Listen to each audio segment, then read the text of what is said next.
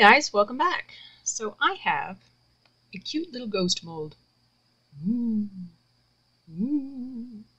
And quite honestly, it, it, came in a set of two, and honestly, I don't remember where I got them. I think it was from Temu, but I honestly don't remember. So, we are going to make a spooky ghost. And yeah, I know, it's it's July. Who cares? It's some people call it Summerween. Okay. Um, so I have, for my spooky ghost mold, some cheesecloth. And this is just regular, plain old, boring, dull cheesecloth that you use in the kitchen or in uh, sewing, crafting, whatever. Um, and I think I got it from Michael's craft store. So, yeah, there's that. Uh, so we are going to put our cheesecloth in our spooky ghost. Yeah, I know I'm weird. Just leave me to it. So, mental note, don't pop off eyeballs. I should have known better. So I'm going to put a dot of clear where each of the eyeballs goes. Put them back where they belong.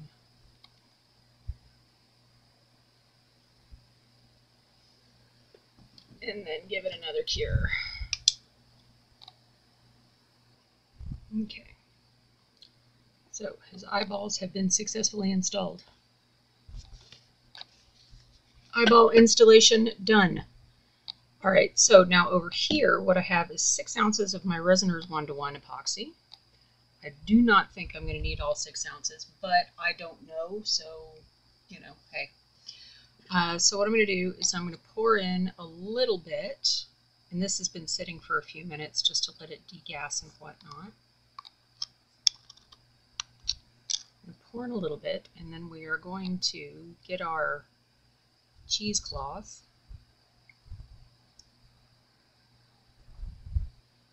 and we're going to start poking it down inside because if I were to add the cheesecloth first and then add the resin, it would most likely knock all the cheesecloth down to the bottom and I would not get a evenly clothy distribution. So hold the cheesecloth, pour some more resin,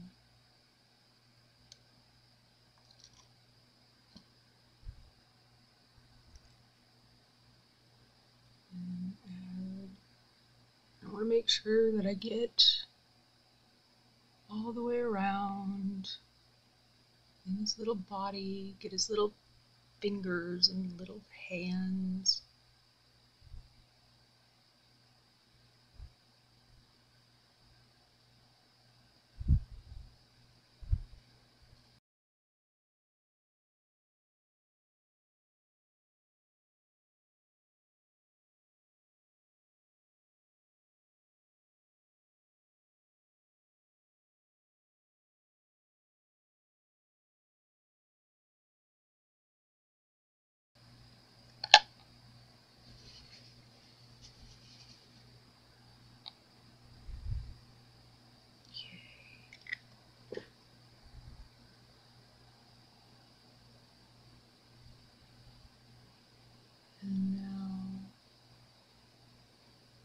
Going to gently press down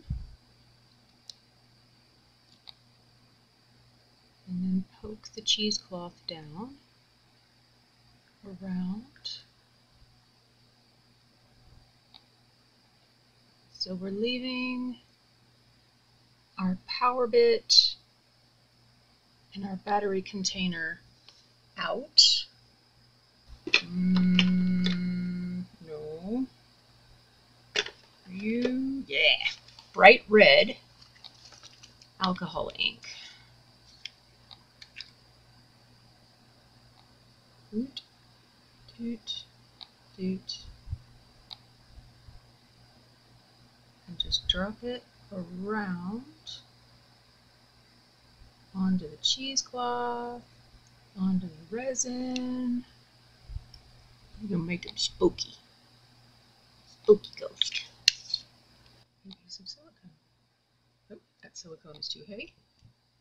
Let's try a smaller piece of silicone. Oh yeah, that'll do. Look at that. Alright.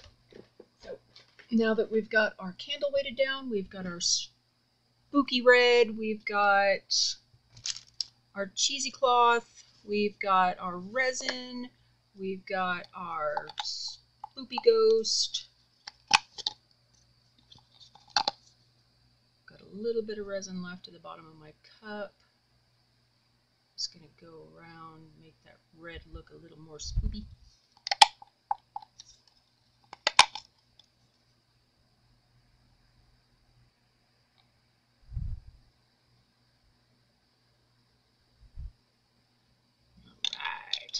So we're going to go ahead and let him cure, and I will see you guys for the demold. See you soon. He's done. Let's get him out.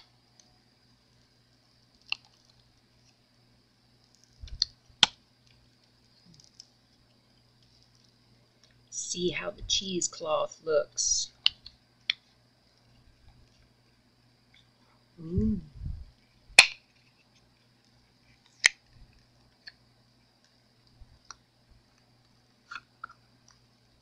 Oh, little eyes. Oh,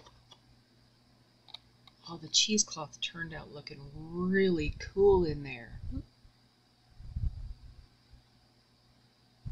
It gives it some texture, but it just looks ethereal, you know? It's not a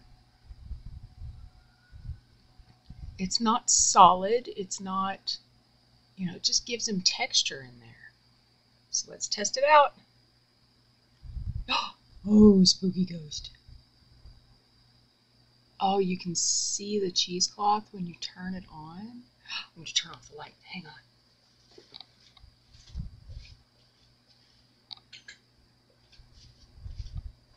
Ooh, spooky.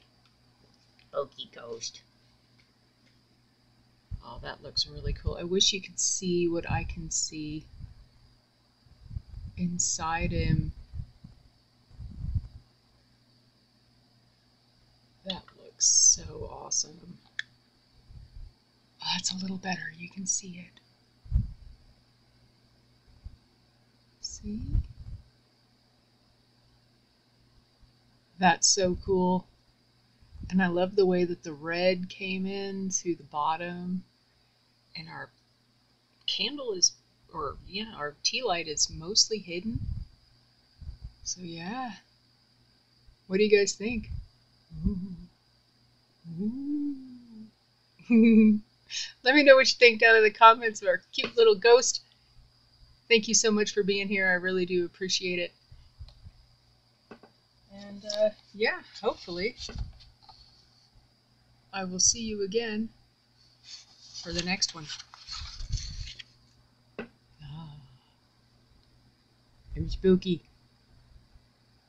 Thanks, guys. Take care. Cheers.